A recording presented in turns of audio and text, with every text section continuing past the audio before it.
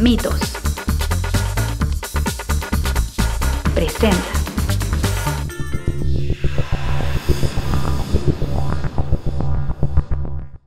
Elementos de la Policía Estatal Preventiva y uniformados de Tarímbaro lograron el aseguramiento de una camioneta propiedad del presidente municipal de Charo, la cual había sido robada.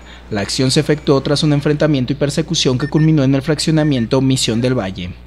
Los hechos se reportaron al filo de las 22:40 horas del jueves cuando policías de Charo pidieron apoyo de la policía estatal, ya que habían robado una camioneta del presidente del citado municipio, Raúl Prieto Gómez, aunque no se especificó si había sido con violencia.